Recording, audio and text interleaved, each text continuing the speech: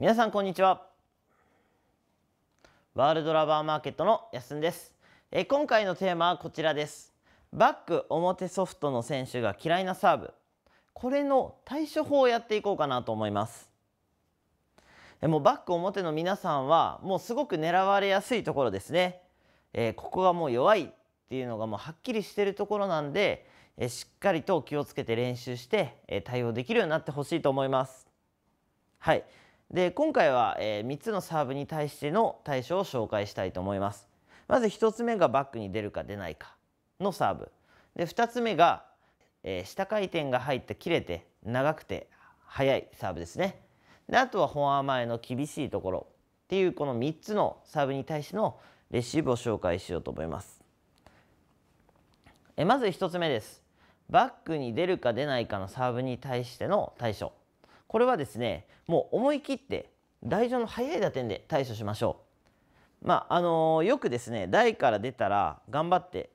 打って先手を取りましょうと言われるんですけどバック側に表ソフトのバック側に関しては攻めてもその後3球目される可能性すごく高いです。ですのでも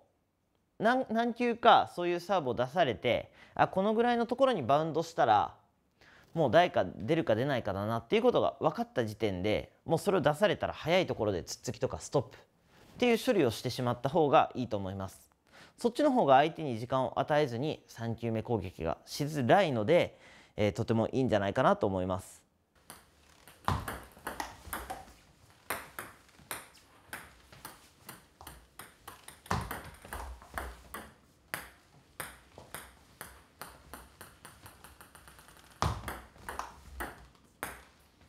2つ目はえ切れて長い速いサーブですね。こちらはですね極力速い打点で取りましょう。深いんでこの辺にバウンドすると思うんですけどもうタタンと速いタイミングで返球するようにしましょう。もう相手に時間を与えないっていうのがもう最大のこの相手に3球目を打たせない防御になると思います。ここで球をじっくり見てこうゆるく返してしまうともう相手は長いサーブを出して3球目をしようと待っているので打たれやすいですねなんでも時間を与えないように早い打点で返すということが大事ですね。それかもしくは長いので回り込んでフォアハンドでドンと攻撃をしてやるっていうのも一つの手かなと思います。はい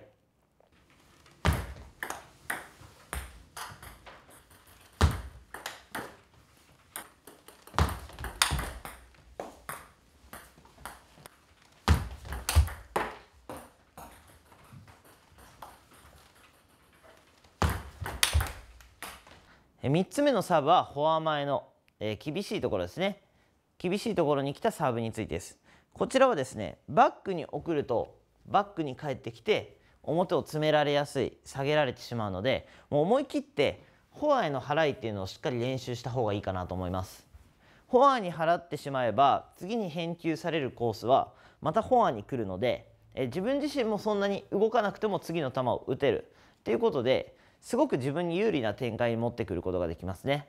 こうバックを詰められたくないので詰められないコースにしっかりと返球できる払いができるっていうことを練習しておくと、えすごくいいかなと思います。